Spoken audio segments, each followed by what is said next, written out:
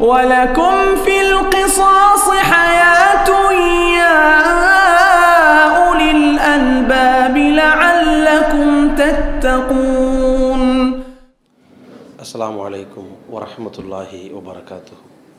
கண்ணியத்திற்குரிய எல்லாம் வல்ல அல்லாஹுவின் நல்லடியார்களே மனித உரிமைகளும் மறுமை விசாரணையும் என்கின்ற தலைப்பில் நேற்றைய தினம் உலகளாவிய அளவில் இனவெறியின் காரணத்தினால் குளம் ஜாதி மொழிவெறியின் காரணத்தினால் ஏராளமான மனிதர்களுடைய உயிரும் உடைமைகளும் மான மரியாதைகளும் அநியாயமான முறையில் ஒவ்வொரு நாளிலும் பறிக்கப்பட்டு வருகிறது என்பதை பற்றிய பல்வேறு தகவல்களை உங்களுக்கு எடுத்து சொல்லியிருந்தோம். அதன் வரிசையில் இந்த உலகத்திலே வாழக்கூடிய ஒவ்வொரு மனிதனும் ஜாதியின் பெயரால் மொழியின் பெயரால் நிறத்தின் பெயரால் அவன் தாக்கப்பட வேண்டாம் அவன் தாக்கப்படக்கூடாது அவன் காக்கப்பட வேண்டும் என்று சொன்னால் அதற்கு தீர்வு இஸ்லாம் தான் என்பதற்கான நிதர்சன நிகழ்கால பல்வேறு சான்றுகளையும் சொல்லியிருந்தோம். பலதரப்பட்ட கொடுமைகளிலிருந்து விடுதலை அடைந்தவர்கள் இந்த இஸ்லாத்தை எப்படி சுவாசித்தார்கள் என்கின்ற அனுபவத்தையும் உங்களுக்கு சொல்லியிருந்தோம். ஒட்டுமொத்த உலகளாவிய அளவில் முஸ்லிம்கள் இந்த நிற வேற்றுமை இல்லாமல் மொழி வேற்றுமை இல்லாமல் எந்த விதமான குல வேற்றுமை இல்லாமல் நடந்து கொள்ளக்கூடிய இந்த அணுகுமுறை அதுதான் இவ்வளோ பெரிய மாற்றத்திற்கு மக்களுக்கு வழிவகை செய்திருக்கிறது என்றால் அப்படிப்பட்ட சகோதரத்துவத்தை இஸ்லாம் எப்படி இவர்களுக்கு கற்றுக் கொடுத்திருக்கிறது எதன் அடிப்படையிலே கற்றுக் கொடுத்திருக்கிறது என்பதை பற்றி நாம் பல ஆதாரங்களை நம்ம பார்த்தோம். அதன் வரிசையில் அல்லாவுடைய தூதர் அவர்கள் தன்னுடைய இருபத்தி மூன்றாண்டு கால அந்த தூதுத்துவ வாழ்க்கையில் எப்படியெல்லாம் அந்த தீண்டாமை சார்ந்த வாசனை வருகிறதோ அது பற்றிய ஒரு சாயல் தென்படுகிறதோ அதை எங்கெல்லாம் அல்லாவுடைய தூதர் அவர்கள் அந்த கொடிய நோயை அடித்து விரட்டுகிறார்கள் என்பதை பற்றிய செய்திகளையும் நம்ம பார்த்தோம். அதில் பனு முஸ்தலிக் என்கிற யுத்தத்தை நோக்கி சஹாபாக்கள் பயணிக்கிறாங்க. அல்லாஹ்வின் தூதர் அவர்களோடு அன்சாரிகள் முஹாஜிர்கள் போகிறாங்க அதில் முஹாஜிர்களில் ஒருவர் ரொம்ப கொஞ்சம் சேட்டை பண்ணுவார் சிரிப்பு காட்டுவார். அந்த மாதிரி இருக்கக்கூடியவர் அவருடைய செயல் ஒரு கட்டத்தில் என்ன ஆகுதுன்னா ஒரு அன்சாரி தோழருடைய பின்பகுதியில் ஒரு தட்டு தட்டிட்டார். அது அந்த அன்சாரிக்கு ரொம்ப கடுமையான ஆத்திரத்தை ஏற்படுத்திடுது. அவர் உடனே கோவப்பட்ட அந்த வேகத்தில் என்ன பண்ணுறாருன்னா உதவிக்கு ஆள் அழைச்சிருக்கலாம் அல்லது இவரை மட்டும் திட்டிருக்கலாம். ஆனால் அந்த கடுமையான தர்க்கம் ஏற்பட்ட போது அன்சாரிகளை எல்லாரும் இங்கே வாங்கன்னு கூப்பிட்டாரு. அங்கே தான் இப்போ ஆரம்பிக்குது.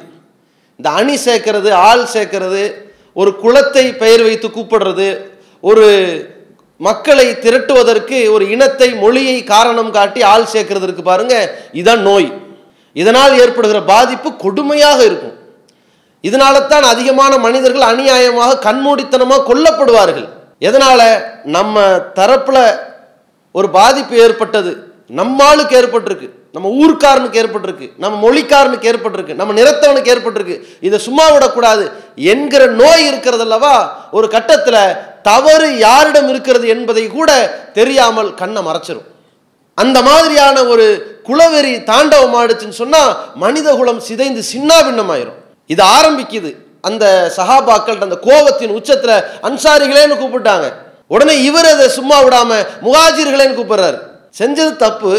எப்ப எதுக்குப்பா இதில் பிரச்சனை பண்றேன்னு? மன்னிப்பு கேட்கணும். இவர் மக்காவிலிருந்து மதினாக்கு வரும்போது இவங்கெல்லாம் அடைக்கலம் கொடுத்தவங்க.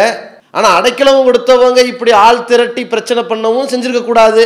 அதே நேரத்தில் இவர்கள் உதவி பெற்ற சகாபாக்களாகிய இவர்கள் கூட அதுக்காக வேண்டி ஒரு பிரச்சனையை கிளப்புறதுக்கு முஹாஜிர்களையும் கூப்பிட்டுருக்க கூடாது. ரெண்டுமே தப்பு தான் முஹாஜிர்களையும் கூப்பிட்ட உடனே இது நபிசல்லா அலிஸ்லம் அவர்களுக்கு அந்த சத்தம் கேட்குது தாங்க முடியல. உடனே வெளியே வராங்க. என்ன பிரச்சனை என்ன பிரச்சனைன்னு சொல்லி அல்லாவுடைய தூதரவர்கள் வெளியே வந்து கேட்குறாங்க. மா பாலு தாவா அகிலில் ஜாகிலியா என்ன இப்போ சத்தம் வருது? அன்சாரிகளை முஹாஜிர்களை கூப்பிடுறாங்கல்ல.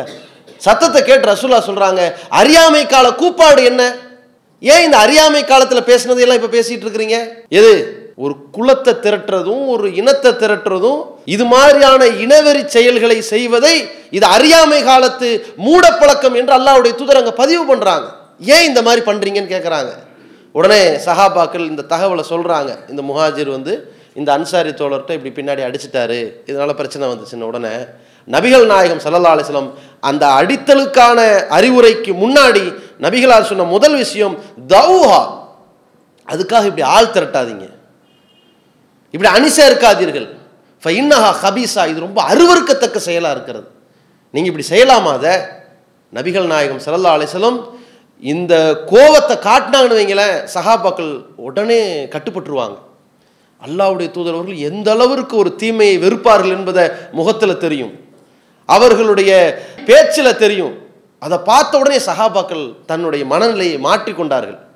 எந்த அளவிற்கு அந்த சார்ஜ் நிற்கிது தெரியுமா? இன்றைக்கு பேசப்படுகிற பயான் நாளைக்கு வரைக்கும் நிற்கலாம் அடுத்த வாரம் வரைக்கும் இழுக்கும்னு சொல்ல முடியாது. அல்லாஹ்வின் தூதரவர்கள் போதித்த அந்த போதனையினுடைய ஆழம் நபிகள் நாயகம் சல்லல்லா அலிஸ்லாம் அவர்கள் சில ஆண்டுகள் கழித்து இறந்து விடுகிறார்கள். அந்த நேரத்தில் அங்கே மக்களிடத்தில் ஒரு பேச்சு துவங்குகிறது. மின்னா அமீர் ஓ மின்கும் அமீர். யார் யாரை ஆட்சி பண்ணுறது அன்சாரிகளே நீங்கள் உங்களை கட்டுப்படுத்துறதுக்கு ஒரு அமீரை வச்சுக்கோங்க. முஹாஜிர்களை கண்ட்ரோல் பண்ணுறதுக்கு நாங்கள் ஒரு அமீரை வச்சுக்கவா? இப்படி கேட்குறாங்க அதாவது இது கூட ஒரு குலவெறிக்காக சொல்லப்பட்ட வாசகம் கிடையாது. சகாபாக்கள்லாம் ஆ இனிமேல் நீங்கள் வேறு நாங்கள் வேறு. இப்படி நபிகள் நாயகம் இறந்த உடனேயே இந்த மாதிரி பிரிஞ்சு போகிறதுக்கு காத்துக்கிட்டு இருந்தவர்கள் கிடையாது. அவங்க ரொம்ப கண்ணியமானவர்கள். அவங்க என்ன பேசுகிறாங்கன்னா அன்சாரிகளை அன்சாரிகளில் உள்ள ஒருத்தர் சொன்னால் கட்டுப்படுத்த முடியும். முகாஜிர்களை முகாஜிர்களில் ஒருவர் சொன்னால் கட்டுப்படுத்த முடியும். அந்த மாதிரி உங்கள் தலைமைக்கு ஒரு அமீரும் எங்கள் தலைமைக்கு ஒரு அமீர் வச்சுக்கலாம் தானே? அப்படி கேட்குறாங்க இது பெரிய சர்ச்சையாக வரல அது. அந்த கோரிக்கையாக தான் வச்சாங்க. அப்போ உமரலியலானவர்கள் சில விளக்கங்களை கொடுத்தாங்க. அல்லாவுடைய தூதர் அவர்கள் தனக்கு அடுத்து தொழுகையில் அபுபக்கரலியலானவர்களை நிறுத்தினாங்க. பல கட்டங்கள் அபுபக்கரலியலானவர்களை முன்னிலைப்படுத்தினாங்க. அவரை ஏன் நாம் வந்து தலைமையேற்று செயல்படக்கூடாதுன்னு சொன்ன உடனே அன்சாரிகள் எல்லாம் கேட்டுக்கிட்டாங்க. அங்கே எந்த வாடைக்கு இடம் கொடுக்கல. அவர் முகாஜிராச்சே. அவர் எப்படி நம்மளை கண்ட்ரோல் அப்படி நினைக்கவே இல்லை. ஏன்? இது அறியாமை கால கூப்பாடு. இந்த பேச்சு வரக்கூடாது. இது சாதாரணமான கொடிய நோய் அல்ல. இது இப்லீஸினுடைய பிறப்பிடம் இது இந்த தீண்டாமை. தன்னுடைய பிறப்பை அடிப்படையாக கருதி பெருமை அடிப்பவன் அகந்தை கொள்பவன் ஆணவம் பிடித்தவன் பிறரை இழிவாக கருதுபவன் அவன் யார்? அவன் இபிலீஸ் இப்லீஸ் தானே இது முதல் முதல்ல தொடங்குச்சு. அல்லாஹ் ரபுல் ஆலமீன் இப்லீஸ் என்ன சொன்னான் இதுக்குள் நாளில் மலாய்க்க துஷ்டுதூளி ஆதம். வானவர்களுக்கு அல்லாஹ் சொல்லிடுறான். அங்கே இப்லீஸும் இருக்கிறான். ஆதமுக்கு கட்டுப்படுங்க. அப்படின்னு சொல்லி அல்லாஹ் சொல்லிடுறான். அப்படி சொல்லும்போது ஃபஸ்ட் சஜது வானவர்கள் எல்லாரும் என்ன செஞ்சாங்க? அந்த ஆதம் அலை இஸ்லாம் அவர்கள் கட்டுப்பட்டாங்க. இல்லா இப்லீஸ் இப்லீஸ் மட்டும் கட்டுப்பட மறுத்துட்டான். அபா புறக்கணிச்சிட்டான். வஸ்தக்பர திமுறாக பெருமை கொண்டான். பக்கானமிடல் காஃபிரின் இதன் காரணமாக நிராகரிப்பாளர் ஆயிட்டான் அல்லாஹுவை இல்லைன்னு அவன் சொல்லலை. அல்லாவை நம்பினான் அவன். அல்லாஹு தான் கடவுள் என்பதையும் நம்பி இருந்தான். இருந்தாலும் அவன் காஃபீரா போறான். ஏன்? அல்லாஹுடைய கட்டளையை மீறியதால் காஃபீராகிறான். அல்லாஹ் கேட்கிறான் நீ ஏன் அவருக்கு கட்டுப்படல? என்று கேட்கும்போது அவன் சொன்ன அந்த காரணம் என்ன தெரியுமா? இந்த பிறப்பினால் உள்ள ஏற்றத்தளவை தான் காட்டினான். ஹலக்தனி மின் நார் நீ என்ன நெருப்பில் படைச்சிருக்கிற? அவரை மண்ணில் படைச்சிருக்கிற? மண்ணு பெருசா நெருப்பு பெருசா? நான் ஏன் அவருக்கு கட்டுப்படணும்? என்று இந்த பிறப்பை காரணம் காட்டி ஒரு ஏற்றத்தாழ்வை கருதினானே இதன் பிறப்பிடம் இந்த இபிலிஸ்ட் தான். அல்லாஹ் என்ன செஞ்சான்? இழிவடைந்தவனா வெளியே போன்னு விரட்டினான். சொன்னானா இல்லையா? அந்த மாதிரியான இழிவான ஒரு செயல்தான் இந்த இனவெறியின் அடிப்படையில் மக்களை பிரிக்கிறது. இது இபிலிஸ்ட் இருக்கிறது. இந்த சாயல் எந்த ஈமான்தாரிகள்ட்டையும் வரக்கூடாது. இபிலிஸ் எதை மறந்துட்டான்? அல்லாஹ் கட்டுப்பட சொல்லியிருக்கிறான். நாம கட்டுப்பட வேண்டியவர் ஆதம். அதானே? ஆதமும் கட்டுப்படணும். ஆனால் ஆதம் பெரிய ஆளா சின்ன ஆளா என்று பார்க்கறதுக்கு முன்னாடி கட்டுப்பட சொன்னவன் அல்ல. அவன் நம்மளை விட பெரியவன் நம்மளை படைச்சவன் என்று அவன் சிந்திச்சிருந்தா இந்த பிரச்சனையே வந்திருக்காது. ஏன்? ஆதம் நம்மை விட எப்படிப்பட்டவராக இருந்தாலும் இவர் கட்டுப்படி என்று சொன்னவன் நம்மை படைச்ச ரப்பு. இதை அதை மறுத்துட்டு அவன் என்ன பண்றான்? இறைவனே சொல்லி இருக்கட்டுமே. இவருக்கு நான் ஏன் கட்- பெற பிறப்பெண்ண அந்தால் பிறப்பெண்ண என்று நினைச்சா பாருங்க. இந்த தீண்டாமை தான் அவனை தூக்கி எறியப்படுவதற்கு காரணமாக இருந்தது. இதை அல்லாவுடைய தூதர் அவர்கள் இந்த நோயை அந்த மக்கள்கிட்ட விரட்டுறாங்க. எந்த அளவுக்கு அல்லாவுடைய தூதர் அவர்கள் ஒவ்வொரு செயலாக சொல்றாங்கன்னா ஒரு கட்டத்தில் ஒரு நபித்தோழர் வழியாக ஒரு செய்தி சொல்லப்படுது. இந்த மாதிரி இன்னார் இருக்கிறாரு அவர் இன்னாருடைய மகன் உங்களுக்கு தெரியும். இன்னாருடைய மகன்னா நீங்கள் வந்து கொஞ்சம் அவர் பார்த்து செஞ்சு கொடுங்க. ரொம்ப நெருக்கமாக வச்சுக்கோங்க என்று சொல்லி ஒரு பரிந்துரை வருது. அப்போ ரசூல்லாய் சல்லா அலிஸ்லாம் அவர்களுக்கு வரக்கூடிய பரிந்துரை கூட எந்த அடிப்படையை வச்சு வருதுன்னா இன்னாருடைய மகன். அவர் உங்களுக்கு தெரிஞ்சவர் நல்ல கோத்திரத்தை உங்கள் குலத்தை சேர்ந்தவர். அப்போ அந்த மாதிரி உள்ள உங்கள் குலத்தை சேர்ந்தவங்க நீங்கள் முக்கியத்துவம் கொடுத்துருங்க என்று கருத்தில் ரசூல்லாய் சல்லா அலிஸ்லாம் அவர்களுக்கு வரும்போது நபிகள் நாயகம் சல்லா அலிஸ்லாம் பகிரங்கமாக ஒன்றை அறிவிக்கிறாங்க. மக்களே தெளிவாக புரிந்து கொள்ளுங்கள். இவர் குறிப்பிடுகிறாரே ஒருவர் இன்னாருடைய மகன் என்று ஒரு குலத்தை சொல்லி பேசுகிறாரே லைசூபி அவுளியாயி அவரெல்லாம் என்னுடைய தோழர்களோ நண்பர்களோ கிடையாது. குலத்துக்காகவெல்லாம் நான் தோழமை கொள்ள மாட்டேன். நபிகள் நாயகம் சல்லல்லா அலிஸ்லம் குறைசி குலத்தை சேர்ந்தவங்க உயர்ந்த குலத்தை சேர்ந்தவங்க அங்கே உயர்ந்த குலமாக கருதப்பட்ட குலத்தில் சேர்ந்தவங்க. அப்படி கருதப்பட்ட குலத்தில் இருந்து ஒரு பரிந்துரை வரும்போது ரசோல்லா சொன்னாங்க இந்த குலத்தின் காரணத்தினாலெல்லாம் இவர்கள் என்னுடைய தோழர்களாக முடியாது. என்னுடைய நேசத்திற்குரியவர்கள் யார்? இன்னம்மா வழிய அல்லாஹ். அல்லாஹ் என் நேசத்திற்குரியவன். நான் அல்லாவை நேசிக்கிறேன். இல்லையா? அல்லாஹ் என்னை நேசிக்கிறேன். நான் அல்லாவை நேசிச்சிட்டு இருக்கிறேன் நான் அல்லாஹைத்தான் ஒரு பொறுப்பாளராக எடுத்திருக்கிறேன். சாலிகள் சாலிகள் மூமினின் இறை நம்பிக்கை கொண்ட நல்லவர்களை என்னுடைய தோழர்களாக நான் நேசித்துக் கொண்டிருக்கிறேன். இவங்க தான் என்னுடைய நேசர்களை தவிர அவர்களுடைய ஈமான் தான் அந்த நேசத்திற்கு காரணமே தவிர அவங்க நிறமோ குளமோ அவர்களுடைய மொழியோ காரணமாக அல்லாவுடைய தூதர் கருதவே இல்லை. செயல் வடிவத்தில் காட்டும்போது எப்படி பார்ப்பாங்க? நபிகள் நாயகம் சல்லா அலிசன் சொல்லுக்கு மட்டும் இப்படி காட்டலை. பிலால் ரலியல்லானவர்கள் அங்கே அடிமையாக நடத்தப்பட்டவர். அவுபக்கர் ரலியல்லானவர்கள் செலவு செய்துதான் இந்த பிலால் ரலியல்லானவர்களை விடுதலை செய்திருக்கிறார்கள். அவர் கருப்பினத்தை சேர்ந்தவர். அவரை பள்ளிவாசலில் நின்று பாங்கு சொல்ல வைத்தார்கள் ரசூலுல்லா. சரோஜினி நாயுடு அவர்கள் சொல்வார்கள் உலகத்திலேயே தீண்டாமை கட்டவிழ்க்கப்படுகிற ஒரு பகுதி இருக்குமானால் அது கோயில் வழிபாட்டு தலம் தான் அங்கே தான் ஜாதி வரி எல்லாம் பார்த்து விரட்டடிக்கப்படுகிறார்கள் ஆனால் உலகத்திலேயே அந்த வழிபாட்டு தலத்திலேயே தீண்டாமை ஒழித்து ஒரு ஜனநாயகத்தை நிறுவி இருப்பார்களே ஆனால் அது நபிகள் நாயகம் மட்டும்தான் சொல்லுவார்கள். ஏன்? எல்லா மக்களையும் தொழுகைக்கு அணிவகுக்க செய்யக்கூடிய ஒரு பணியை வாங்கு சொல்லக்கூடிய பணியை பிலாலுக்கு ரசுல்லா கொடுக்குறாங்க. இதில் குறைசி குலம் தாழ்ந்த எதையுமே பார்க்கல. அவர் செயல்தான் காரணம். இந்த அடிப்படையாக வைத்தார்கள். இது ரசூல்லாய் சல்லா அலிஸ்லமனுடைய அந்த நடவடிக்கைகள். எங்கேயாவது போகிறோமா பிலால்? வாங்க சொல். இப்படித்தான் ஒரு பொறுப்பாளராக இருந்தார்கள். அல்லாவுடைய தூதர் அவர்கள் நேசத்தை எந்த அடிப்படையில் காட்டினார்கள்? அதில் குலம் மொழியெல்லாம் பார்க்கல. இவர் ஈமான்தாரியா? இவர் நல்ல மனிதரா? அவரை நான் நேசிப்பேன். இதுதான் நான் ஃபஸ்ட்டு ப்ரிஃபரன்ஸ் கொடுப்பேன்னு அல்லாவுடைய தூதர் சொன்னார்கள். அது மட்டும் இல்லை யாரெல்லாம் இந்த இனவெறியின் அடிப்படையில் மக்களை அழைக்கிறார்களோ அவர்களை அல்லாவுடைய தூதர் என்னை சேர்ந்தவர்கள் இல்லை என்று சொல்லி பிரகடனப்படுத்தினார்கள்.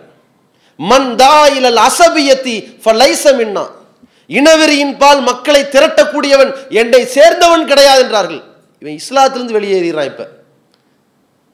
எந்த ஒரு கட்டத்திலையுமே இந்த செட்டு சேர்க்கறதுல தனக்கு மேலே உள்ளவன் செய்கிற தவறு சரியா தவறா என்று பார்க்கணுமே தவிர அவன் நம்ம ஆள் எனவே தப்பே செஞ்சாலும் நான் அவனுக்கு வக்காலத்து வாங்குவேன் என்றால் இங்கே தான் இந்த குலவெறி மொழிவெறி நிறவெறி குடும்பவெறி ஊர்வெறி தெருவெறி எல்லாமே ஆரம்பிக்கும்.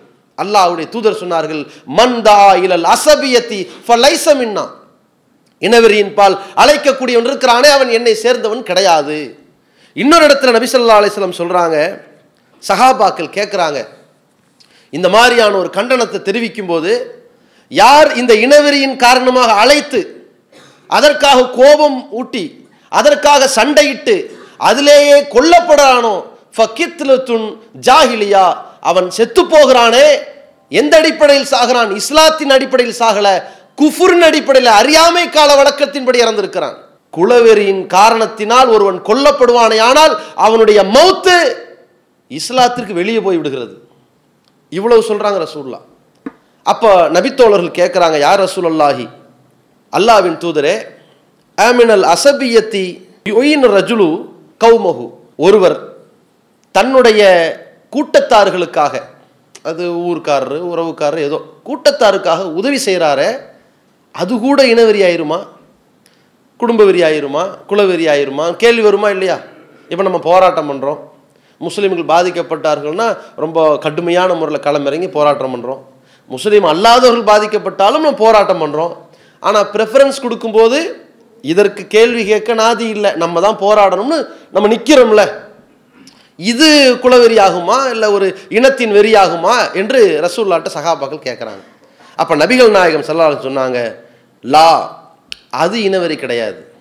ஒலா கிண்ணல் அசபியத்தை இனவெறினா என்ன தெரியுமா? ஐயொழினர் ரஜுலு கௌமகு அல துல்ம். தன்னுடைய சமுதாயத்திற்கு அநியாயமாக உதவி செய்கிறானே அதுதான் இணைவெறி தவறு யார் மேல் இருக்கிறது? ஏன் தரப்பில் இருக்கிறது? தவறு யார் மேல் இருக்கிறது? என் சமூகத்தை சேர்ந்தவன் மேல் இருக்கிறது என்றால் அவனுக்கு வக்காலத்து வாங்கக்கூடாது. அநீதி இழைக்கப்பட்டவனுக்கு போய் நிற்கணும் அவன் எதிரியாக கூட இருக்கலாம். இப்படி ஒரு மார்க்கத்தில் சொல்லப்படுகிறது என்றால் அல்லாவுடைய தூதர் அவர்கள் அந்த இடத்துல எதையெல்லாம் வேறு இருக்கிறாங்க? எந்த ஒரு கட்டத்திலும் இந்த ஒரு சூழல் ஏற்படக்கூடாது. யாரிடத்திலும் ஏற்றத்தால் வரக்கூடாது. ஏழை பணக்காரன் என்று வரக்கூடிய ஏற்றத்தாழ்வு. இது வரக்கூடாது. இறுதி பேருரையில் இந்த உலகத்தை விட்டு பிரிய போகிறோம் என்கிற கட்டத்தில் நபிகள் நாயகம் ஸல்லல்லாஹு அலிஸ்லாம் மக்களுக்கு போதிச்சாங்க. அதில் குறிப்பிடுறாங்க லா ஃபதுல் அலி அரபியின் அலா ஆஜமியின் அரபி மொழி பேச தெரிந்தவனுக்கு அது தெரியாதவனை விட எந்த சிறப்பும் கிடையாது. மொழி வெறிய உடைக்கிறாங்க. ஒலாலி ஆஜமியின் அலா அரபியின். அதே மாதிரி அரபி மொழி பேச தெரியாதவனுக்கு அரபி மொழி பேச தெரிஞ்சவனை விட சிறப்பு இருக்குன்னு நினைக்காதீங்க. ரெண்டும் சமந்தான் ஒலாலி அஹ்மர அலா அஸ்வத. ஒலா அஸ்வத அலா அஹ்மர. கருப்பனை விட வெள்ளையனுக்கோ வெள்ளையனை விட கருப்பனுக்கோ எந்த சிறப்பும் கிடையாது.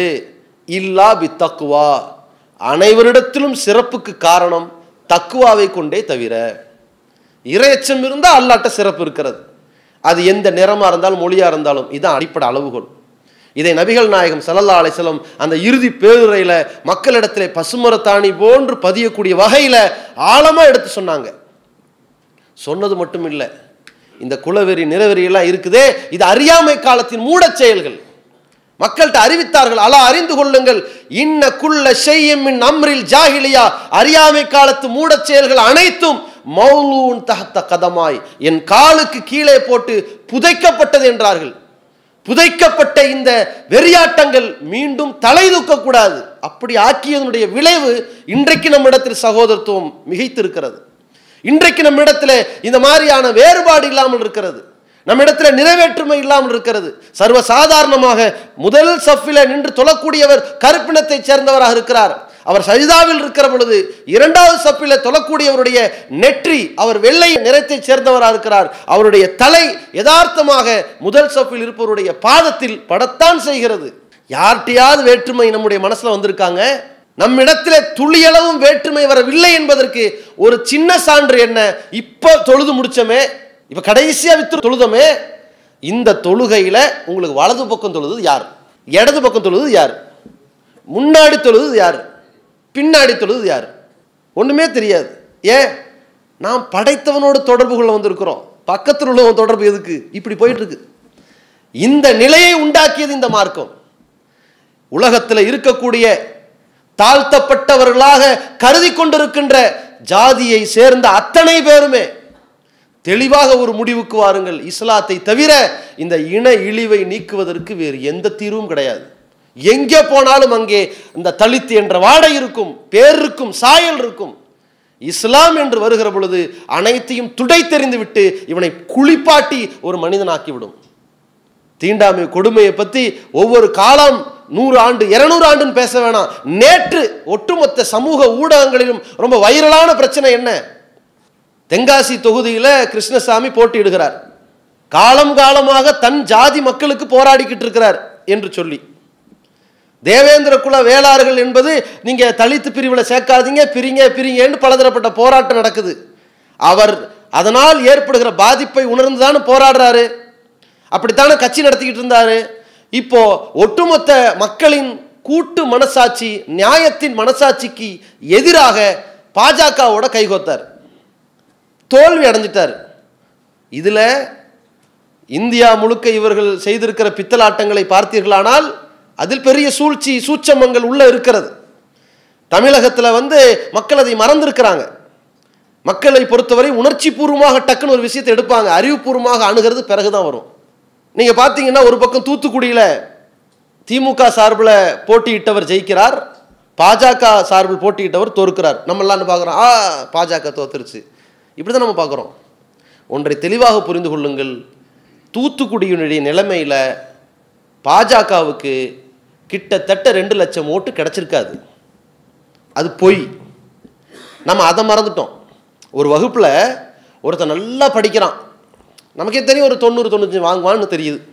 ஒருத்தன் ஆக மரமண்ட மக்கு. அவன் ஒரு முப்பது தான் வாங்குவானே தெரியுது.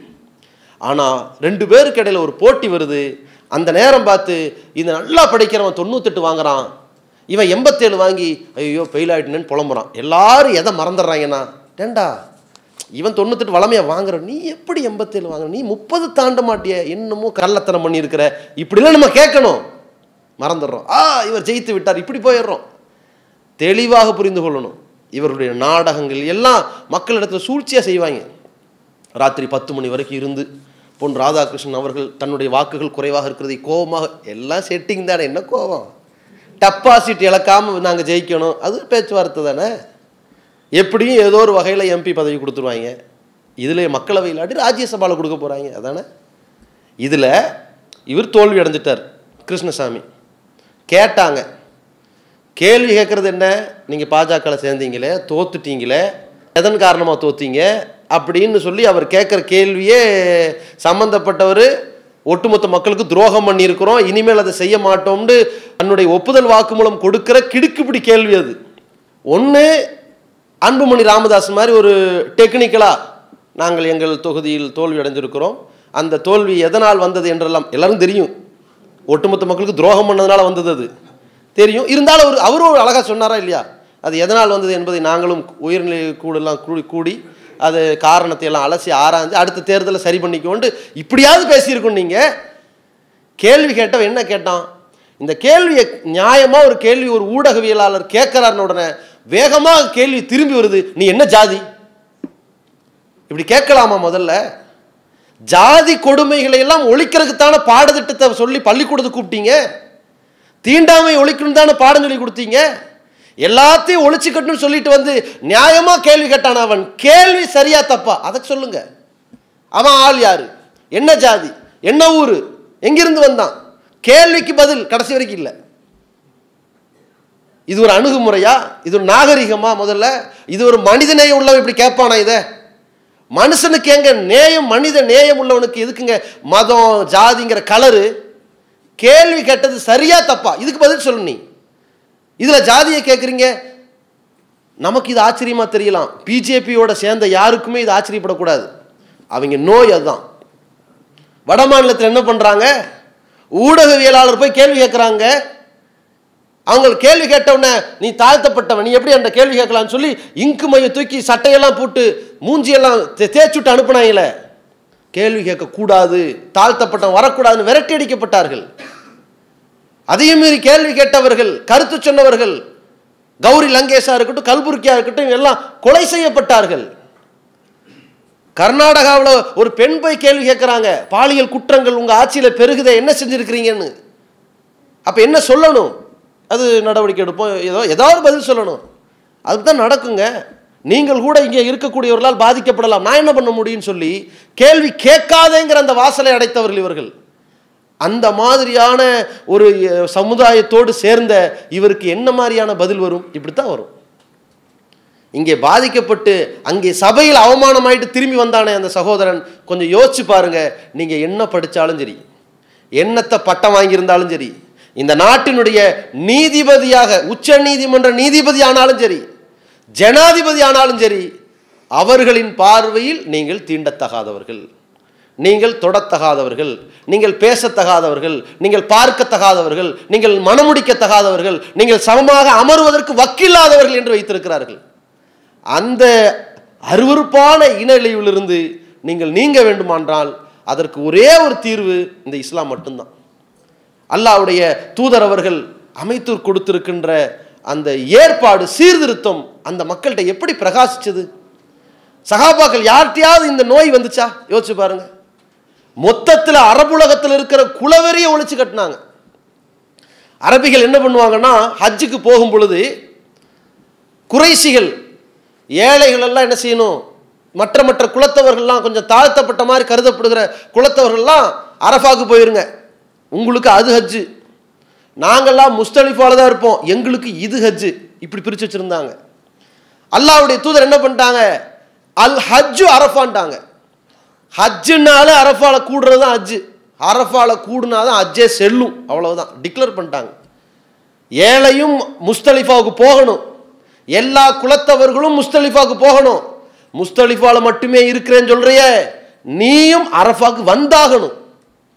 அனைத்தும் செஞ்சாகணும். அல்லாஹ்வுடைய தூதர் அவர்கள் டிக்ளேர் பண்ணி முடிச்சாங்க. என்ன வணக்க வழிபாடு? நீ யார் பங்கு போடுவதற்கு? உன்னுடைய குலத்தவர்கள் எப்படி பங்கு போடலாம் என்று உடைத்தார்கள். உலகம் முழுக்க எத்தனையோ பேர் தீண்டாமைக்கு எதிராக போராடினார்கள். அதுல அல்லாஹ்வின் தூதரவர்களுடைய இந்த போராட்டம் இருக்கிறது. அது மிகப்பெரிய அளவிலே ஒரு சகாப்தத்தை ஏற்படுத்தி இருக்கிறது என்றால் அதற்கான ஒரு பின்னணியும் இருக்கிறது.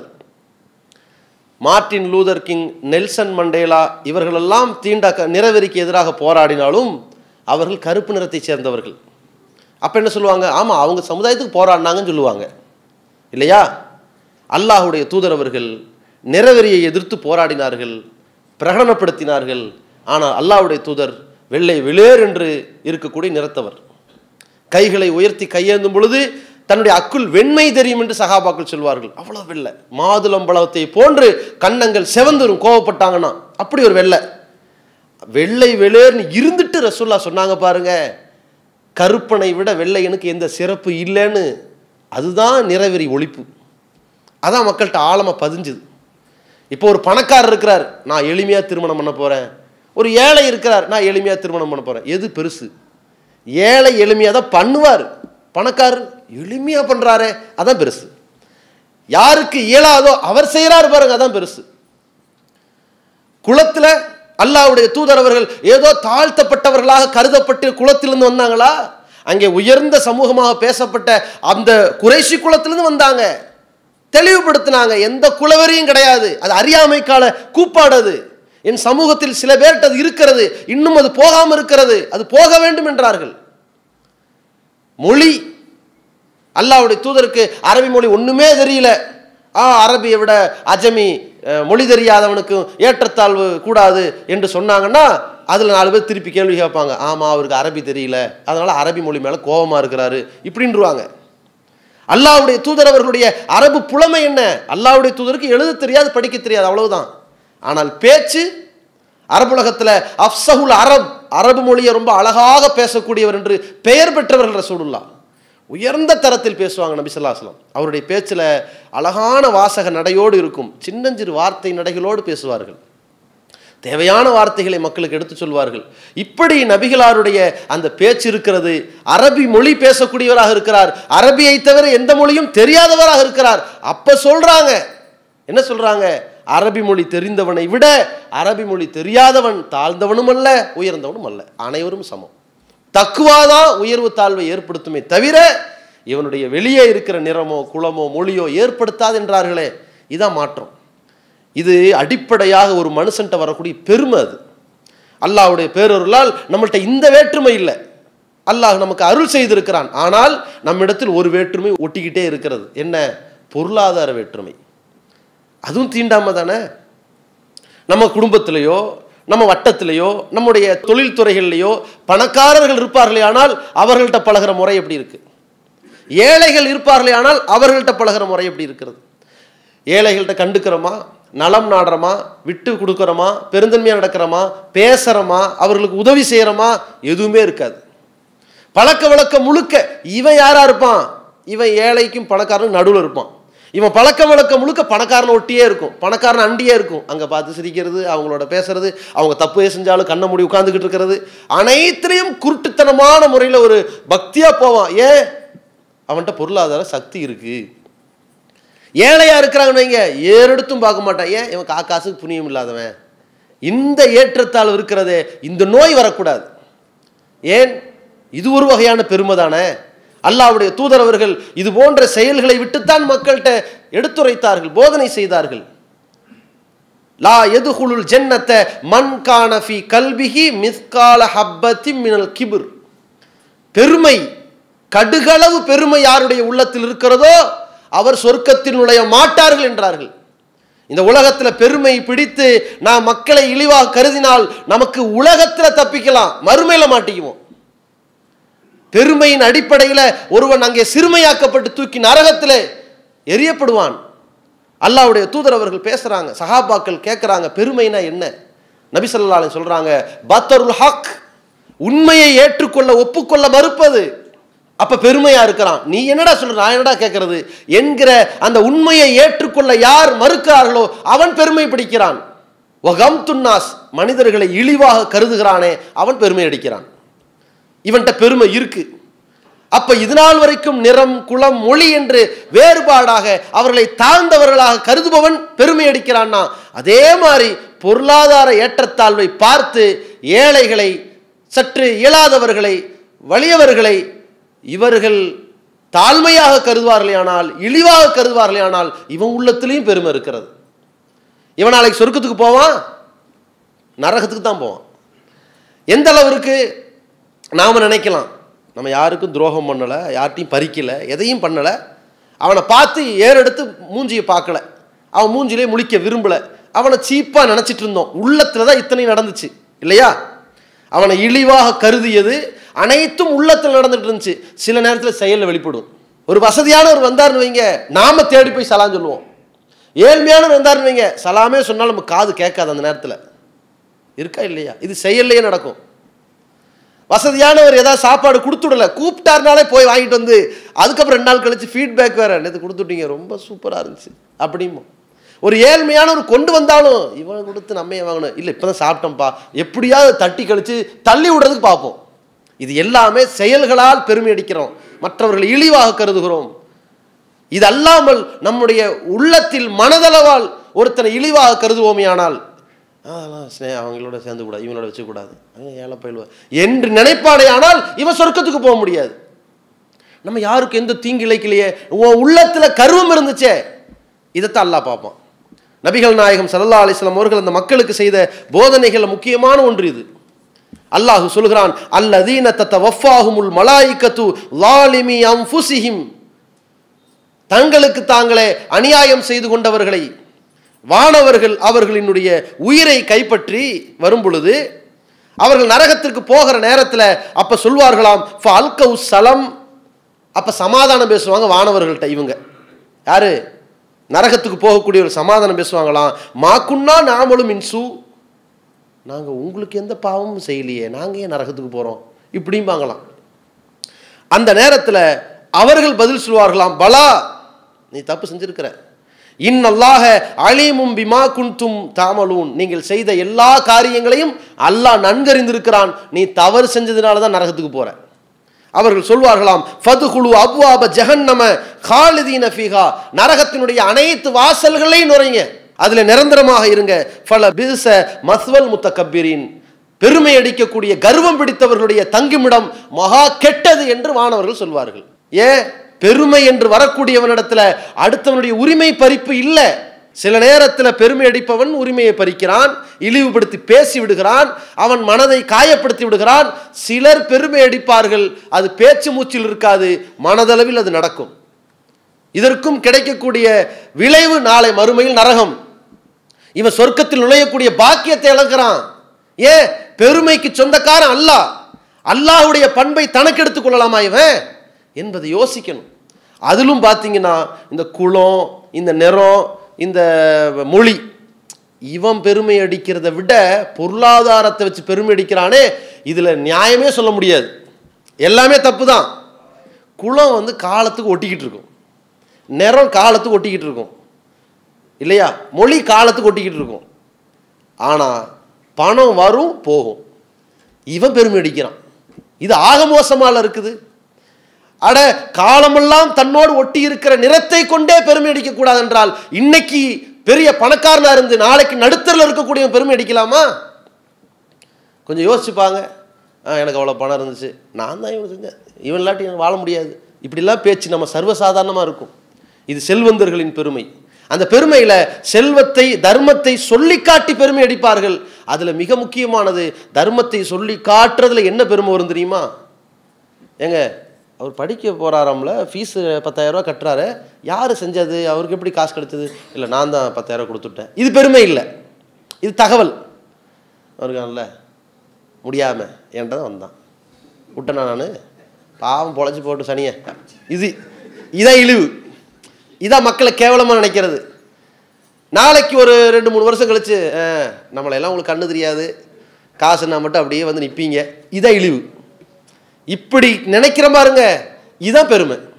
இந்த மாதிரியான பெருமை இருக்கக்கூடியவர்கள் சொர்க்கத்தில் நுழைய முடியாது என்று அல்லாவுடைய துதர் சொல்கிறாங்களே இந்த எச்சரிக்கையை உணரணும்.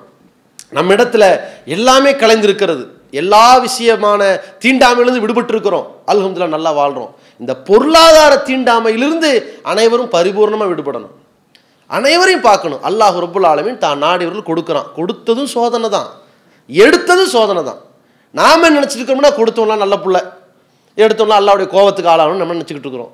ஆனால் அல்லாஹ் ரெண்டையுமே சோதனைன்னு தான் சொல்கிறான் எப்படி சொல்கிறான் ஃப அம்மல் இன்சானு இதா மபுத்தலாகு ரப்புஹு ஃப அக்ரமஹு ஒன அமஹு மனிதனை சோதிப்பதற்காக இறைவன் கண்ணியப்படுத்தி அவனுக்கு அருளையும் வழங்குகிற பொழுது இவன் நினச்சிட்டான் சோதனைங்கிறத மறந்துட்டு ஃபயக்கூடு ரப்பி அக்கிரமணி இறைவனை கண்ணியப்படுத்திட்டான் அப்படின்னு நினைக்கிறான். வா அம்மா இதா மபுத்தலாகு ஃப கதராலைஹி ரிஸ்கஹு. அவனையே சோதிப்பதற்காக அவனுடைய செல்வத்தை குறைச்சிட்டோம்னா ஃபயக்கூடு ரப்பி அஹானனி. நீ இறைவன் என்னை கேவலப்படுத்திட்டாங்கிறான். அடே உனக்கு கொடுத்ததும் சோதனைக்கு தான். நீ என்ன பண்ணுறேன்னு பார்ப்போம் பெருமை அடிக்கிறியா? கஞ்சத்தனம் பண்ணுறியா தர்மம் பண்ணாமல் இருக்கிறியா? தர்மம் பண்ணிட்டு சொல்லி காட்டுறியா? அதை வச்சுட்டு வீண் விரயம் பண்ணுறியா அல்லது ஹலாலான வழியில் செலவழிக்கிறியா? ஹலாலான வழியில் சம்பாதிக்கிறியா? ஹராமான வழியில் கழிக்கிறியா? என்பதற்கா எல்லாம் சோதிக்கிறான். ஒருத்தன்ட்ட பறிக்கிறான். இப்போ நீ என்ன பண்ணுற யாசகம் கேட்குறியா? திருடுறியா? ஹராமான வழியில் போய் சம்பாதிக்க போறியா? இந்த பொருளாதாரத்தை இழந்ததற்காக வேண்டி நீ என்ன நடந்துக்கிறாய்? இதுவும் சோதனை. ஒருத்தன்ட்ட எடுத்து சோதனை ஒருத்தன்ட்ட கொடுத்து சோதனை. ரெண்டும் சோதனை தானே? ஆனால் மனுஷன் என்ன நினச்சிருக்கிறான்? நாம் அனைவரும் சமமானவர்கள். எல்லோரும் சோதனைக்கு தான் இந்த உலகத்தில் வாழணும்னு நினைக்காம செல்வாக்கு உள்ளவன் இறைவனுடைய விருப்பத்திற்குரிய மாதிரியும் அவன் கேட்கறதுவாவையெல்லாம் எல்லாம் ஏற்றுக்கிட்ட மாதிரியும் அதனால தான் இன்னைக்கு இந்த அளவுக்கு வந்தது மாதிரியும் அதன் அடிப்படையில் தான் வாழ்கிற மாதிரியும் அல்லாவுடைய நேசத்திற்குரிய இறைநேசர் மாதிரியும் யார் பொருளாதாரம் இல்லையோ அவன் இறைவனுடைய கோபத்துக்கு ஆளாகிய துர்பாக்கியசாலி மாதிரி நினைக்கிறான். ரெண்டும் சோதனைக்குள்ளது தான் அப்போ இதை சமமாக கருதினோமையானால் நம்ம இடத்துல இந்த பொருளாதார ஏற்றத்தாழ்வு வராது. இதை நாம் அடிப்படையாக வைக்கணும். இதனால எந்த விதமான மனித உரிமை மீறல்கள் யாருக்கும் ஏற்படக்கூடாது? இதெல்லாம மார்க்கம் நமக்கு சொல்லி கொடுத்துருக்கிற இன்னொரு வழிமுறை என்னன்னா நம்முடைய உள்ளத்தில் இந்த கசடு வரக்கூடாது. இந்த மாதிரியான கெட்ட எண்ணங்கள் அடுத்தவர்களை இழிவாக கருதக்கூடிய நிலை தாழ்மையாக கருதக்கூடிய நிலை வந்து கொஞ்சம் கூட வரக்கூடாது. அப்படி வராமல் இருப்பதற்கு நாம் அல்லாவிடத்தில் அதிகம் அதிகமாக பிரார்த்தனையும் நம்ம செய்யணும். நபிகள் நாயகம் சல்லா அலிஸ்லாம் அவர்கள் மிகச்சிறந்த நற்குணம் மிக்கவர்கள் அல்லாவிடத்தில் நற்சான்று பெற்றவர்கள் நபிகளார் அல்லாவிடத்தில் கேட்டிருக்கிறாங்க வஹுதினி லி அஹ்சனில் அஹ்லாக்கி லா எஹுதி லி அஹ்சனிஹா இல்லா அந்த இறைவா என்னுடைய உள்ளத்திற்கு நீ நல்ல ஒரு குணத்தை கொடு. அதற்கு உன்னை தவிர நற்குணத்தை தருபவன் யாரும் இல்லை. வஸ்ரிஃப் அன்னி செய்யஹா லா எஸ்ரிஃபு அன்னி செய்யஹா இல்லா அந்த என்னுடைய உள்ளத்தில் இருக்கின்ற தீய குணங்களை எல்லாம் அதில் உதிக்கின்ற கெட்ட குணங்களை எல்லாம் நீயே போக்கிவிடு. உன்னை தவிர அந்த தீமைகளை போக்குபவன் யாரும் இல்லை. இப்படி ரசூல்லாய் சல்லா அலிஸ்லம் பிரார்த்தனை செய்கிறாங்க நமக்கு அரபியில் தெரியலையா? தமிழ்லையாவது என்ன செய்யணும்? இந்த பிரார்த்தனை அல்லாட்ட கேட்கணும். நம்முடைய உள்ளத்தில் ஒரு காலத்தில் என்ன வரக்கூடாது? யாரையும் நம்ம தாழ்வாக கருதக்கூடாது அதே மாதிரி தப்பு சரி என்று வரும் பொழுது யாருக்கும் நம்ம சாயம் பூசிடக்கூடாது. இவர் எனக்கு பிடிக்காது. அவர் எந்த நல்லது சொன்னாலும் நான் ஏற்றுக்க மாட்டேன். இவர் எனக்கு பிடிக்கும். இவர் எந்த கெட்டது சொன்னாலும் நான் ஏற்றுக்குவேன் இதுதான் கேவலமான செயல். யாரை பிடிக்குதோ பிடிக்கலையோ அவர்கள் சொல்கிற கருத்து சரினா ஏற்றுக்கணும் கருத்து தவறுனா அவர் மிக விருப்பத்திற்குரியவராக இருந்தாலும் அதை புறக்கணிக்கணும். இந்த நிலைப்பாடு உள்ளவர்கள் தான் தக்குவாவிலையும் இரையச்சத்திலையும் பெருமை அற்றவர்களாகவும் இருக்க முடியும். இது அடிப்படையாக இருக்கிறது. அடுத்து நம்ம உலகளாவிய அளவில் மனிதனுடைய உரிமைகள் பறிக்கப்படுறதுக்கான காரணமாக இருக்கிறது மதவெறி. இந்த மதவெறி எதனால் உருவாகிறது அப்படிங்கிறத நீங்கள் பல கோணங்களில் பார்க்கணும். இஸ்லாமிய மார்க்கத்திற்கு எதிராக முஸ்லீம்களுக்கு எதிராக உலகளாவிய அளவில் நடத்தப்படுகிற சதிகள். அதையெல்லாம் இந்தியாவுக்கு வெளியே உள்ளதை அப்புறம் பார்ப்போம். முதல்ல இந்தியாவில் நம்மை அழிக்க வேண்டும் என்பதற்காக வேண்டி தீட்டப்படுகிற அனைத்து சதித்திட்டங்களை எல்லாம் நீங்கள் தொகுத்து பாருங்கள் அது எல்லாமே மத வெறியினுடைய வெளிப்பாடாக இருக்கிறதா? அல்லது மதத்தை காரணம் காட்டி அரசியல் செய்து கொண்டிருக்கிறார்களா என்று உங்களுக்கு புரியும். எதுவுமே மதத்தினுடைய வெறி கிடையாது. மத வெறினா என் மதம் எனக்கு பிடிக்கும். என் மதத்தை தான் எல்லாரும் ஏற்றுக்கணும் எல்லோரும் ஒரே மதத்தை தான் இருக்கணும் என்பது ஒரு வகையான மதவெறி இன்னொன்று இவன் ஏற்றிருக்கிற மதம் எனக்கு பிடிக்கல. இவன் ஏற்றிருக்கிற மதத்திலேருந்து அவனை எப்படியாவது அழிக்கணும்.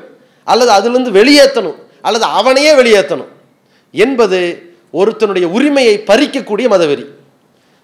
இப்போ இந்தியாவில் நடந்துக்கிட்டு இருக்கிறது என்ன? இந்துக்கள்கிட்ட மதவெறி இருக்குன்னு நம்ம சொல்லலை. இந்துத்துவாவினரிடம் இருக்கிறதுன்னு சொல்கிறோம் இந்துத்துவான்னு ஒரு கூட்டம் இருக்குதே ஒரு குழு இருக்குதே அவங்க நாங்கள் கடவுளை வணங்குறோம். கற்சிலைகளை வணங்குறோம் ராமனை வணங்குறோம் விநாயகரை வணங்குறோம் அதை நேசிக்கிறோம் எல்லோரும் அதை வணங்கி ஆகணும். அதுதான் புண்ணியம் அதுதான் சரியான கொள்கை என்று தர்க்க ரீதியாக அறிவுபூர்வமாக நிலைநாட்டுவார்கள்னா நிலைநாட்ட மாட்டாங்க. அந்த பக்தியெல்லாம் அவர்களுக்கு கிடையாது. அவருடைய ஒரே ஒரு நோக்கம் நாங்கள் ஆட்சிக்கு வரணும். நாங்கள் தான் ஆட்சி கட்டிலில் அமரணும். அதற்கு எதிர்ப்பக்கத்தில் இருக்கக்கூடிய இதற்கு மிகப்பெரிய தடைக்கல்லாக இருப்பது சிறுபான்மை மக்கள். ஏன்? மெஜாரிட்டி அவங்க தான் இந்தியா முழுக்க நீங்கள் இந்துத்துவவினர் எடுத்தீங்கன்னு பார்த்தா பத்து சதவீதம் கூட பெற மாட்டாங்க. மெஜாரிட்டி மக்கள் சிறுபான்மை மக்கள். எல்லாரையும் ஒன்று திரட்டினீங்கன்னா அவங்க தான் மெஜாரிட்டி இந்துக்கள் கிறிஸ்தவர்கள் இஸ்லாமியர்கள் எல்லாரையும் ஒன்று திரட்டுங்க. இந்த இந்துத்துவ அந்த பிராமணர்கள் மட்டும் பிரித்து காட்டுங்க. முடிஞ்சு போச்சு. இப்போ என்ன செய்யறது? இவர்களிடத்தில் இவர்கள் இந்த மார்க்கத்தை விட்டு வெளியேற வேண்டும். இந்த மார்க்கத்தின்படி அவர்கள் வாழக்கூடாது. மார்க்கத்தின்படி திருமணம் முடிக்கக்கூடாது மார்க்கத்தின்படி உண்ணக்கூடாது இவர்களுடைய மார்க்கத்தின்படி அவருடைய எந்த நடைமுறையையும் அமைத்துக் கொள்ளக்கூடாது என்று ஒவ்வொரு சட்டத்திட்டங்களை போட்டு சர்வாதிகாரத்தில் ஈடுபடுகிறார்களே எல்லாத்துக்கும் என்ன காரணம்னா இஸ்லாமிய மார்க்கத்துடைய கொள்கை கோட்பாட்டை நோக்கி பலரும் மாறி போனார்களே ஆனால் நம்முடைய வாக்குகள்லாம் குறைஞ்சு போய் அவர்கள் ஆட்சிக்கு வந்துடக்கூடாது. அப்போ நாம் என்ன செய்யறது?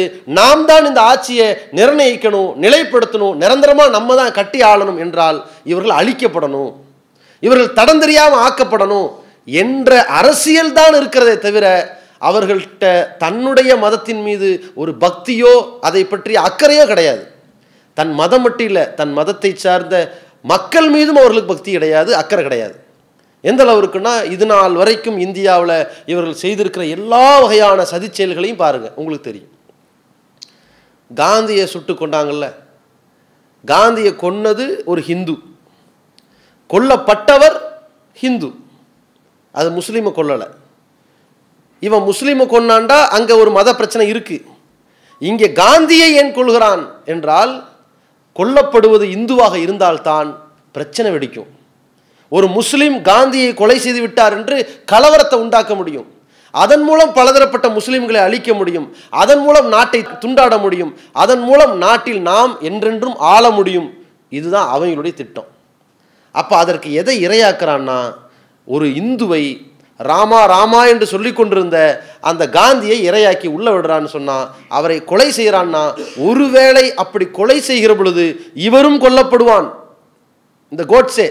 இவனும் இந்து தான் இந்துவை இழந்து இந்த நாட்டை பிடிக்கணும்னு நினைக்கிறான்னா இவன் இந்துக்களுக்குரிய மக்களா? இவன் இந்துக்களுக்கு எதிரான இந்துத்துவம் இது. இவன் எல்லா செயலும் இப்படித்தான் இருக்கிறது. உண்மையிலேயே இந்த நாடு இந்துக்களுக்கு இந்துக்கள்னு சொல்றதா இருந்தா அவர்கள் இந்துக்களுக்காக வேண்டி குரல் கொடுத்துருக்கணும். எவ்வளவு பிரச்சனைகள் வந்துச்சு. தூத்துக்குடியில் ஸ்டெர்லைட் ஆலையை திறக்கக்கூடாதுன்னு சொல்லி போராடிய மக்கள் யார்? முஸ்லீம்களா? அங்கே சுட்டு கொல்லப்பட்டவர்கள் யார்? முஸ்லீம்களா? நீ இந்துக்களுக்காக வேண்டி குரல் கொடுக்கறதா இருந்தா இவர்களுக்காக ஒரு வார்த்தை பேசினார்களா? நீட் தேர்வு என்ற அடிப்படையில் திடீரென்று சட்டம் போட்ட காரணத்தினால பரீட்சை எழுத முடியாமல் எதிர்கால கனவு பறிபோய் விட்டது என்று அனிதாங்கிற ஒரு பொண்ணு தற்கொலை பண்ணுச்சே. அது என்ன முஸ்லீமா? நீ இந்துக்களுக்கு குரல் கொடுக்குறோன்னா இருந்தால் இதை பற்றி என்ன எடுத்தீங்க நடவடிக்கை? நீட்டு தேர்வு கேன்சல் நீங்கள் எல்லாம் படித்து அந்த பாடத்திட்டத்துக்கு ரெடி ஆனதுக்கு பிறகு அந்த தேர்தல் முறை வைப்போம். அது வரைக்கும் இந்த தேர்வு அப்படின்னு சொன்னீங்களா? அப்போ உங்களுடைய நோக்கம் என்ன? அதே மாதிரி இவர்கள் செய்திருக்கிற எல்லா காரியங்களையும் பாருங்கள் இந்தியாவில் கோட்ஸே பார்ட் டூ என்று சொல்லப்படுகிற ஒரு ஆள் அசிமானந்தா பலதரப்பட்ட இடங்களில் குண்டு வைத்து அங்கே வாழுகிற பலதரப்பட்ட மக்களுக்கு மிகப்பெரிய அழிவை ஏற்படுத்தி கொடுத்ததில் கோட்ஸே எப்படி காந்தியை கொலை செய்தாரோ அதுபோன்று இந்த அசிமானந்தா செய்திருக்கிற இந்த பயங்கரவாத செயலால் எந்த கோட்ஸே அம்பாலா சிறைச்சாலையில் அடைக்கப்பட்டானோ அதே பகுதியில் இவனும் அடைக்கப்படுகிறான். இவன் யாரு? ஆர்எஸ்எஸ்னுடைய ஆதிவாசிகள் பிரிவை சேர்ந்தவன். அவன்கிட்ட பேட்டி எடுக்கிறாங்க. யார் குண்டு வச்சா? நான் தான் குண்டு வச்சேன். யார் வைக்க சொன்னால் ஆர்எஸ்எஸ் வைக்க சொல்லுச்சு. பலதரப்பட்ட இடங்களில் வைக்கப்பட்ட குண்டுகளுக்கு காரணம் அது நாங்கள் தான். சொன்னது யா- வைக்க சொன்னது யார்? மோகம் ரகவத் சொன்னார். சரி எங்கே வைக்க சொன்னார்? இந்துக்கள் அதிகம் வாழுகிற பகுதியில் குண்டு வைக்க சொன்னார். அவர் சொல்கிறது பத்திரிகைகள்லாம் அந்த வாக்குமூலத்தை எடுத்து போட்டாங்க. இந்துக்கள் அதிகம் வாழுகிற பகுதியில் அவர் குண்டு வைக்க சொன்னார். ஏன்? அப்போ தான் இந்துக்கள் சாவாங்க அதனால் இந்துக்களுக்கு கோபம் வரும் அதனால் முஸ்லீம்ஸ் ஆவாங்க. அப்போ நான் திருப்பி கேட்டேன் இது இந்துக்களை கொல்றமே இது நியாயமா? இந்துக்களை கொல்லுவதும் இந்து தர்மம்னார் எங்களுக்கு.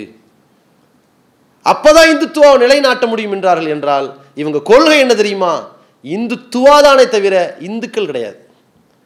அங்கே இவர்கள் அரியணையில் இருக்க வேண்டும் யாரையும் விலை கொடுக்கலாம். இதில் எங்கே மதம்? இவர்கள்ட்ட மதத்தவர்களுக்கோ அந்த மதத்தைச் சேர்ந்த மக்களுக்கோ அக்கறை கிடையாது. இவர்கள் மீதான அக்கறை தான் இது. அதே மாதிரி பார்த்தீங்கன்னா கோத்ரால முஸ்லீம்கள் குஜராத்தில் அழிக்கப்படுவதற்கு பின்னணியாக இருந்தது அவர்கள் மக்களிடத்தில் பரப்பியது ஒரே ஒரு ரயில் எரிப்பு பிரச்சனை. அந்த ரயில் எரிப்புக்கு பின்னணியாக அதில் அழிந்து போனவர்கள் எரிந்து போனவர்கள் ஐம்பதுக்கும் மேற்பட்ட இந்து கரசேவகர்கள் இறந்து போனாங்களா இல்லையா? அவங்க இந்து ராம பக்தர்கள் இறந்து போனாங்களா இல்லையா? நீ உண்மையிலேயே ஒரு ராம பக்தனை காப்பாற்றணும்னு நினச்சா இவங்களையே நீ சாகடிச்ச இவங்களையே நீ எரிச்சு கொன்ன எதன் அடிப்படையில் செய்கிற கொல்லப்படுவது இந்துவாக இருக்கட்டும் என்று ஏன் உன்னுடைய ஆட்சியும் அரசியல் வெறி இப்படி இருக்கிறது என்றால் இங்கே இந்துத்துவ ஆட்சி செய்யணும். அதான் நோக்கம். அது இந்துக்களை அழித்தாவது ஆட்சி செய்யணும். அவர்களுடைய நோக்கம் எந்த அளவுக்குன்னா நாம் ஆட்சி செய்வதற்கு இந்துக்களை கொள்வது மட்டும் இல்லை நாம் எதை கடவுளாக நம்புகிறோமோ அதை கூட சிதைக்க தயார் என்பதில் அவன் இருக்கிறான். பக்கத்தில் இருக்கக்கூடிய அண்டை மாநிலங்கள்ல எல்லாம் பலதரப்பட்ட கலவரங்கள் ஒவ்வொரு காலத்திலும் நடந்துச்சு. அதில் ஹைதராபாத்தில் அனுமர் கோயிலுக்குள்ள திடீர்னு மாட்டிறைச்சி வீசப்படுது என்று சொல்லி முஸ்லீம்களுக்கு எதிராக ஒரு பிரச்சனை கிளம்புது. விசாரித்து பார்த்தா அங்கே இருக்கக்கூடிய இந்த சங் பரிவார்கள் இந்த வேலையை செய்கிறான் ஏன்? மாட்டிறைச்சி முஸ்லீம் வச்சுருப்பான். அதை கோயிலில் வீசியிருக்கிறான்னா முஸ்லீம் மேலே பழி விழும். அதனால் முஸ்லீம்களை தாக்கலாம். அதனால் முஸ்லீம்களுக்கு எதிராக கலவரத்தை உண்டாக்கலான்னா இப்போ இது குறித்து விசாரிக்கிறாங்க. அப்போ அனுமர் கோயில் புனிதம் இல்லையா? ஓம் பாணியில்? நீ வணங்குற இடம் இல்லையா? உன் தெய்வம் இல்லையா? நீ போய் புனிதமான இடத்த பாதுகாக்கணுமா இல்லையா? நீயே இந்த கரியத்துக்கு வீசறிய என்று வரும்போது இது இந்து தர்மம்ன்றாங்க ஏன்? தன்னுடைய கடவுள் என்று நம்பப்படுபவர்கள் இழிவுபடுத்தப்பட்டாவது நாம் ஆட்சியை பிடிக்கணும்னு நினைக்கிறான். இது மதவெறி இல்லை அரசியல். மதம் என்கிற பெயரை சொல்லி மக்களை ஏமாற்றுது அரசியல் இது. ராமர் கோயில் ராமர் கோயில் நான் இப்படி பேசுகிற ஒருத்தனும் கோயிலுக்கு போக மாட்டான் முதல்ல. அந்த சிந்தனையே இருக்காது. என்ன வணங்கணும் ஏதுங்கிற சட்டத்திட்டமும் ஒன்றும் தெரியாது. அந்த மத கோட்பாடுகளும் விளங்காது அவனுக்கு.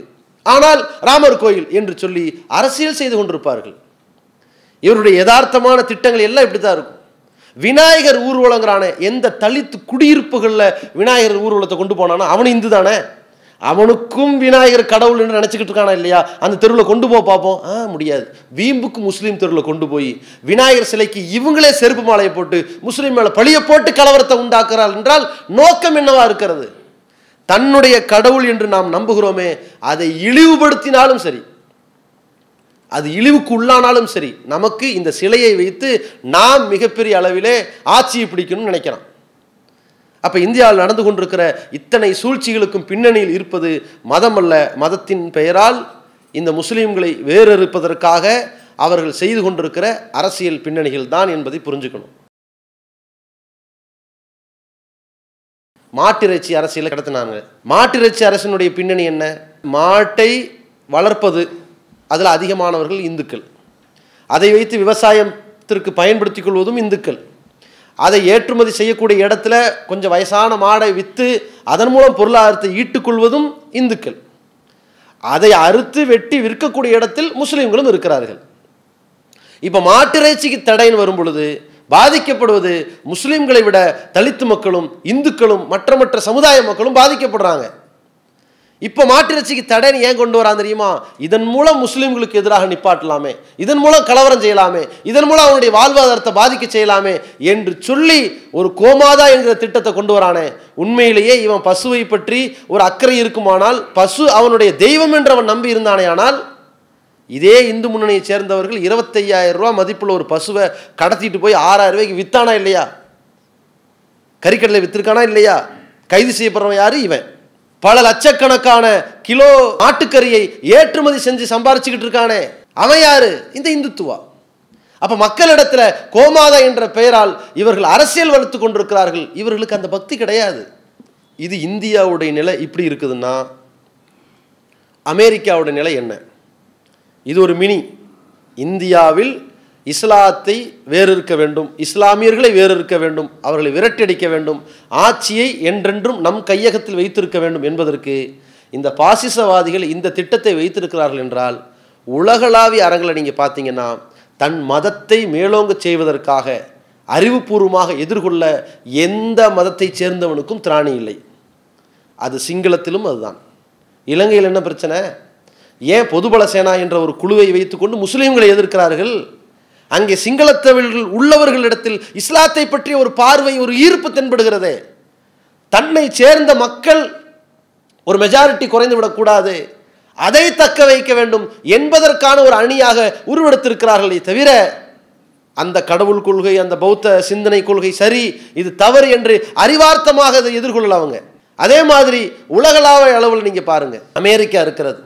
உலகளாவிய அளவில் யூதர்களும் கிறிஸ்தவர்களும் ஒன்று குழும்பி இருக்கிற ஒன்று கூட்டணியாக இருக்கின்ற இந்த குழு இருக்கிறதே இது ரஷ்யாவை ஒரு பக்கம் எதிர்க்கிறது.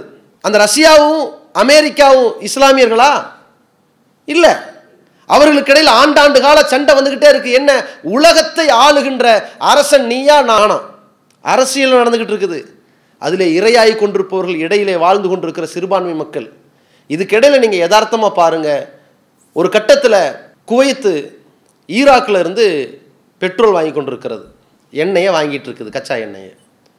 அதே மாதிரி குவைத்து அபுதாபிகிட்ட இருந்தும் என்ன செய்கிறாங்க கச்சா எண்ணெயை வாங்குறாங்க. அவர்கள்ட்ட பொருளாதாரத்தை கொடுத்துட்றாங்க.